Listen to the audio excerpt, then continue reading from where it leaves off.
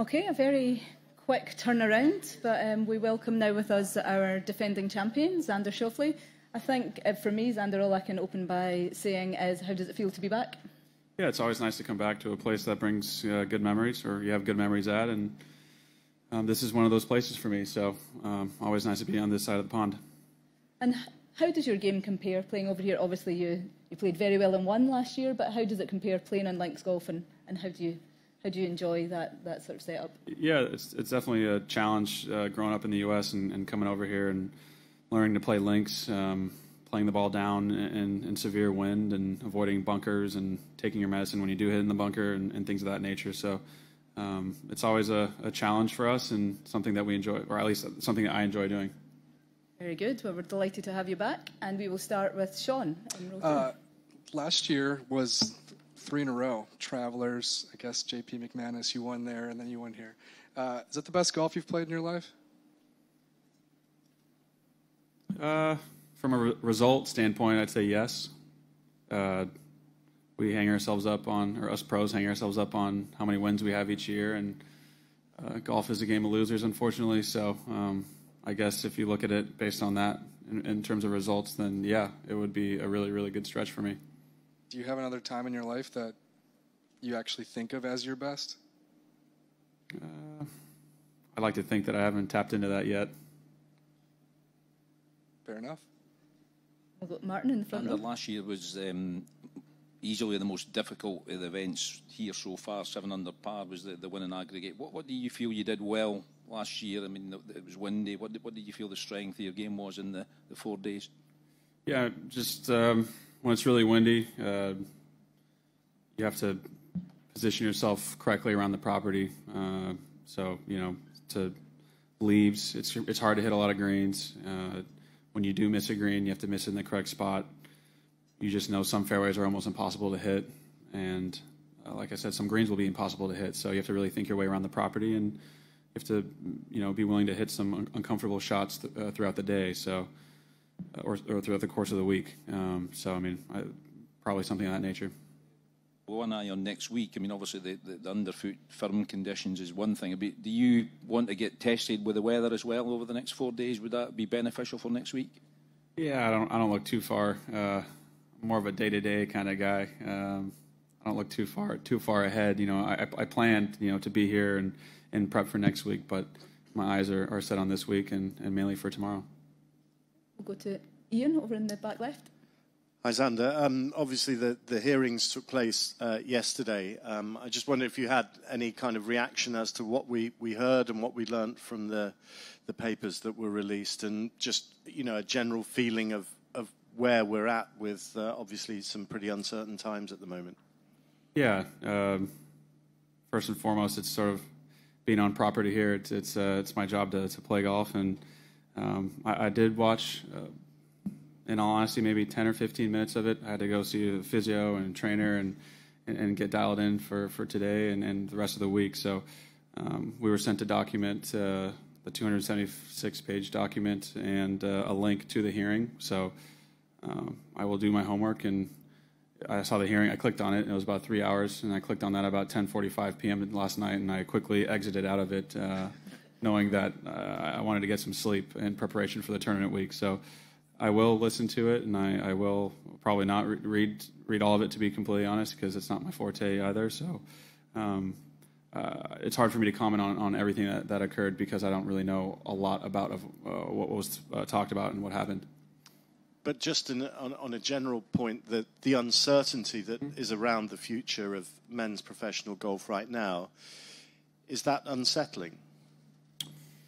Um, you know, I think if if uh, if us players can can stay together, um, sort of stay unified and, and, and have the right you know goals in place for the future, then it would be less unsettling. So I say for the most part. Uh, most of the players on the PGA Tour are, are, are together and sort of want to be informed and, and want to have a say in, in, sort of what happens. And right now, you know, with this hearing and everything that's going on, these are just sort of steps in the process to to getting, I guess, not what we want, but more transparency and, and, and sort of getting a, a, seat at the table. You know, it's a, uh, for members by members organization, and and that's what it should be. Okay, to Alex over on the left. Xander, I don't know, 50, 60 years ago, Jack Nicklaus and Gardner Dickinson and some other guys decided that they needed to do something different as well, and they actually pulled away from the PGA of American, and that's how the tour started. Is there a possibility that you guys collectively could sit there and say maybe there's a better way, but maybe it's not the current path of the PGA Tour? We would need so much more information uh, to make that decision, and also we're no experts. We're we're really good at hitting golf balls and um, making big decisions of that nature or that gra- uh, gravity is just not really what we're good at. And um, you know, for those reasons, we do need help. And then, secondly, Jordan was just in here. His concern, outside of not being able to answer all the questions about the deal because nobody really knows what those are, his concern is basically the fact that the communication, alliance communications, seem to be not really well, well open right now, where they were previously during COVID Today, it doesn't seem like there's that.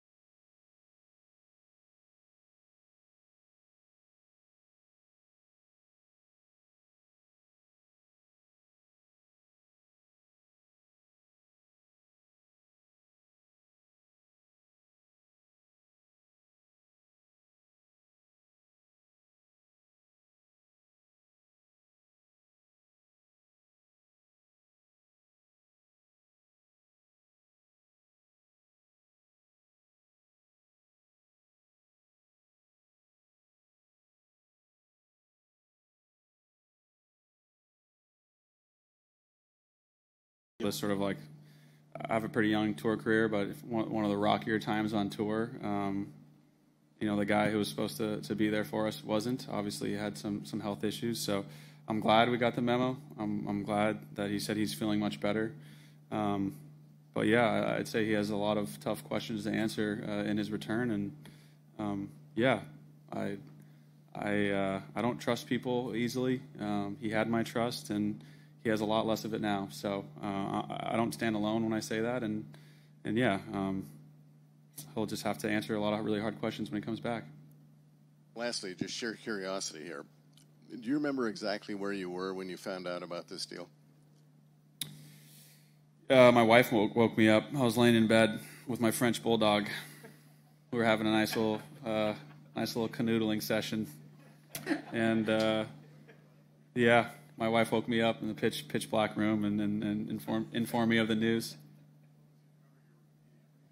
I mean, I had one of those sort of like I don't know who looked worse, me or me or my little guy. You know, I woke up and you know I asked my wife to sort of tell me wh- wh- where the news was coming from, like tell me you know what source it was, and uh, it was like it was so early. I, I remember just laying there and I, I, wanted to go back to bed, and then you know I was kind of like laying there. One I, went, I was like, and then my phone just started going off. So unfortunately, I had to wake the little guy up and, and had to get my day started. He kept sleeping. That's the big news of the day, I think. Yeah. And just one more question over at the back here. Xander, can I ask, coming here to, to Scotland to, to defend your title with the Open next week, is there a sense that, that you guys are getting a break from all the off course focus that's been so much part of your daily routine now for the, the last few weeks, let alone yesterday with the hearings in the Senate, that actually you'll benefit from getting a break, playing a course you know, playing a course you've won well, but also just playing in a different country and playing a different type of golf? Uh, yeah, I'd say the best players in the world typically um, are pretty good at compartmentalizing and, and, and, separating, you know, one from the other. Uh, when, when, there's something important to do, uh, which is usually hit, hitting a little white golf ball, that's, that's what we do. Uh, and when we're in tournament mode, uh, for me at least, you know, my brain sort of goes off and, and, focuses only on the task at hand, whether it's a putt, a chip, a drive, or an iron shot. So, uh, yeah, it is kind of refreshing. It is kind of nice, and we're in a completely different time zone than, than when we're, we're we are back at home, and um, you know, if you just turn your Wi-Fi off and, and aren't willing to read any articles, you can sort of escape, uh, like you alluded to, uh, escape sort of from everything that's going on to the best of, of anyone's ability uh, when you're on this side versus being sort of back back in the U.S. You know, uh, it's unsettling at times, but uh, to me, it, it's just part of the job. I feel uh, us players have a certain responsibility, um, being a being a member of the tour and an ambassador of, of, of the tour and golf. So, um, you know, I love my job. I love playing golf, and you know, not everyone likes their, you know, you guys hate asking, or maybe most of you guys hate asking really tough questions, but um, it might, might be a part of your job you don't like. And, you know, dealing with all this off course stuff is part of the job that probably wouldn't be my favorite. So, like I said, it is part of the job and something that we have to deal with. Okay, we'll take two more. We'll go to Fatia and then finish up with Doug. Xander, uh, do you feel any um, little peace or little um, harmony that this merge brought? Um, do I feel peace or harmony that the, the merger brought? Um, you know, I try to be as you know, glass half empty, half full uh, when it comes to this stuff. Um, thinking half full, obviously, that you know, I'd say peace and harmony is definitely the opposite of what what the announcement brought um, to us players for the most part. So, um, but like I alluded to or said earlier, I I think in any tough situation, something good will happen. It may not seem like it when you're stuck in it, um, you know, knee deep in, in some bad stuff. But for the most part, you know, I do expect some good things to come from from everything that's happened, and hopefully, uh, it's it's us players sort of getting a little bit of more of that transparency that we've been asking for for quite some time. Okay, and lastly with Doug. Couple um, golf things. Birkdale, your first links test, or had you played before? Uh, Birkdale was my first Open. That was a quick turnaround too, wasn't it, in terms of getting in at the last second? I can't remember. So long ago. You can tell me. Was it a quick turnaround? I, I would think so. Yeah. I don't know what the schedule off the top of my head, but I, I, I guess my point is it took you. Um, I think you did okay that year, but the next year at Carnoustie, um, having a real good chance there. What, what was it about links golf? Do you think that you really picked up on quickly, as as different as it can be? You just don't have to be perfect. It's um, not that you have to be perfect anywhere else, but I guess sometimes when you play parkland golf courses, um, you know, it's calm and balmy almost, and you know, you're you're teeing off in the afternoon, and you see someone shot, you know, seven on on the front nine, and you know, you you go out in the afternoon and you're like won over through five holes, and you feel like you're going to lose a tournament. Um, with links golf, uh, there's way more variables that come into play with with the weather and um, it just can play a lot harder, I guess. And so if you can sort of uh, ride the ship and, and play steady golf, you know, seven under one last year. Um, if you sort of knew seven under was going to win before the week started, you'd play the course a lot differently. Obviously, we don't know those kind of things, but you do have an idea with the forecast. You see rain, you see wind, and things of that nature, so you can kind of understand that you don't have to be sort of perfect or shoot ridiculous, ridiculously low scores to to be to contend and win. Hang on. And secondly, I'm sorry, I just had a, had a blank there for a second. But when uh, when it when it's the last major of the year and you and you haven't won yet, won one yet, um, does that add any type of urgency to it, or do you look at the fact that you're still 29, you got plenty more years? Assuming you're still Um, 29. y- yeah, I just you know I I really want to win one um, as much as anyone else. So maybe more, and uh, I just need to really just keep keep walking my my path. It's been different than everyone else's uh, that I've won sort of at a really young age or or, or, or won a bunch of them. So um, just trying to stay patient and. Um, you know, after you feel sort of let down after certain tournaments, you sort of go back to the drawing board, and sometimes that's not the best thing. Uh, we've been really close many times, and I just am asking to get you know get myself in those situations more and more, and I can guarantee that I'll win one.